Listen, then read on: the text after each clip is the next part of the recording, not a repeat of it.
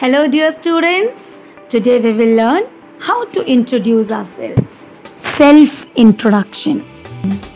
What is the importance of this?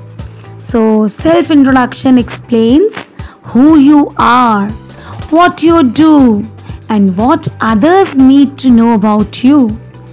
You should provide a self introduction anytime you meet someone new.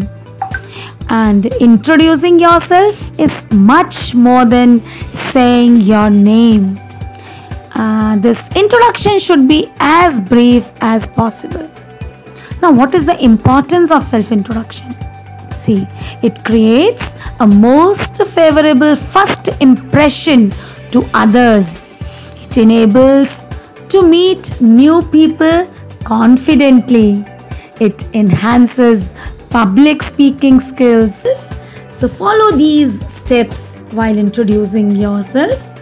First of all, the most important thing is wear a beautiful smile. Then, greet the people. Be confident. Make a good eye contact. Then you can start like, Good morning. My name is so and so. I'm 10 years old. I live at Vijayanagar. Then the third step is tell something about your family in brief.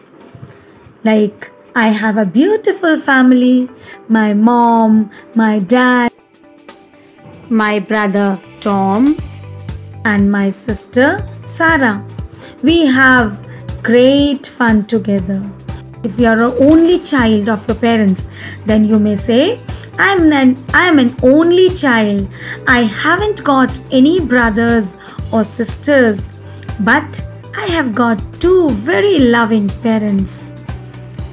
Then share some interesting facts about you, such as about your pet, your hobby, your favorite subject, dish, or your color, favorite color, book, or likes or dislikes. For example, you may say, My favorite activity in my leisure time is riding a bike. Or you can say, I enjoy gardening whenever I have free time. Or you can say, My hobby is reading books and my favorite book is Harry Potter. Or I love sports. I'm crazy about swimming. I can swim a lot in one hour. Now comes your favorite food. So you can say, My favorite food is pizza or samosa or anything, whatever you like. Uh, otherwise, if you are very uh, health conscious, you can say, I usually have a healthy lifestyle. I eat lots of fruits and vegetables. Take, uh, talk about your favorite subject like my favorite subject is maths because i like solving problems.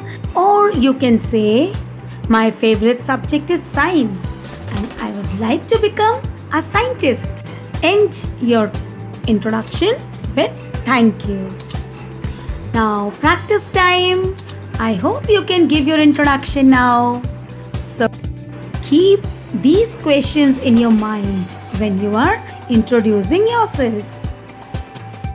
So keep practicing. Meet you next time. Goodbye.